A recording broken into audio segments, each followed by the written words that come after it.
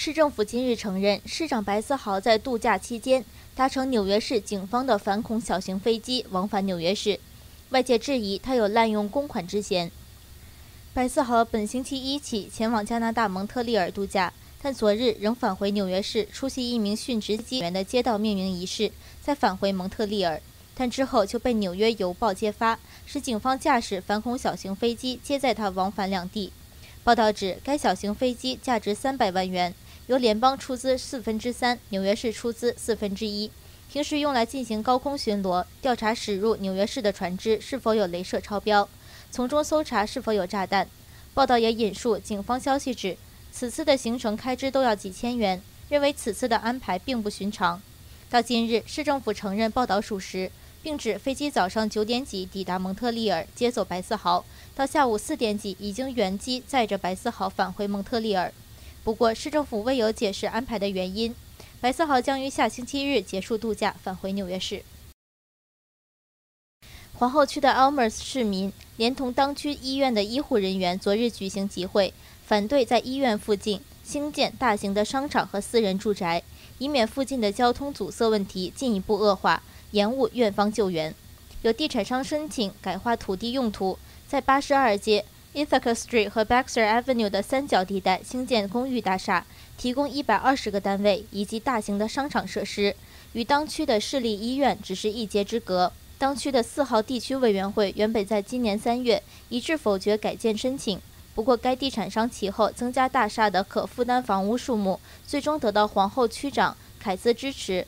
纽约市城规会下星期一将会表决有关的改划申请。当区居民昨日便连同市立医院的医护人员一同反对兴建有关项目，指出医院附近的马路都是较窄的单行道，通常都会出现交通阻塞。救护车平时已经要塞车五至六分钟才能进入到急症室。他们担心，一旦再兴建商场和大型公寓大厦，将会令医院附近货车上落货双重泊车的问题进一步恶化。为了保障当区市民的性命安危，他们要求有关发展商寻觅地点兴建住宅。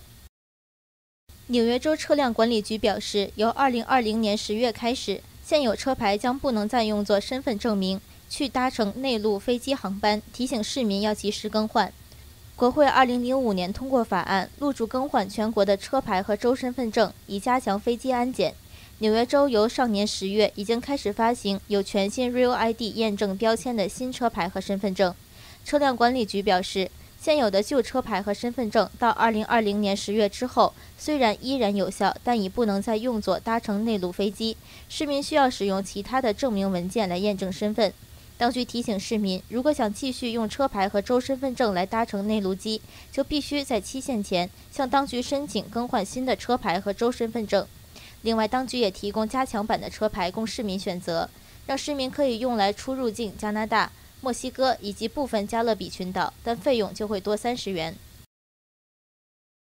州长库莫昨日回应表示，不会归还总统川普过去捐给他的六万四千元选举捐款。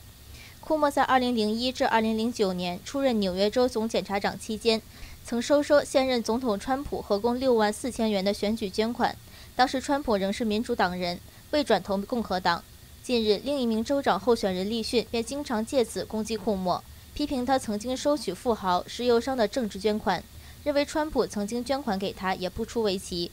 库莫昨日在布鲁克林的 Brownsville 宣布兴建新医院的同时，也回应利逊的批评，强调不会归还有关款项给川普，但会依然大力批评川普。另外，利逊昨日也正式取得布鲁克林的 Bushwick 市议员雷诺索的支持，并一同探访当区一间中学。雷诺索也是在本星期内第二名支持利逊的市议员。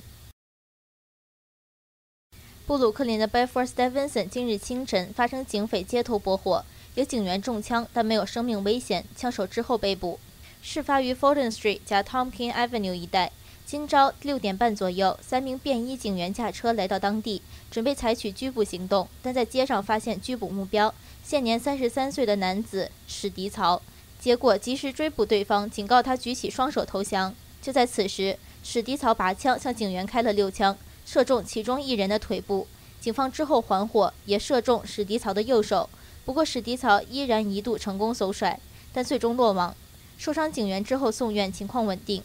警方表示，史蒂曹过去有超过十次的被捕记录，并两次入狱，曾干犯家庭暴力、袭击、严重骚扰、无牌驾驶等罪名。一名女子在布鲁克林的皇冠高地手持点燃的烟火向途人发射，现正被警方通缉。近日，社交网站有一条热传短片，显示一名身穿白色裙、头戴白色帽的女子，在靠近 Saint John Place 的一段 Northern Avenue 手持俗称“龙吐珠”的烟火，但并未向天发射，而是向途人发射，令街上的人慌忙走避。警方表示，已经留意到该段影片正是事发于本星期一晚十一点，现正通缉该名女子。呼吁市民如果有线索提供，可以致电他们的扑灭罪行热线八零零五七七八四七七。每年国庆都是市民自行放烟火的高峰期。不过，警方强调，在纽约市擅自放烟花烟火属违法，并容易造成火警。警方在本星期前后已经在民间充公了大量烟花。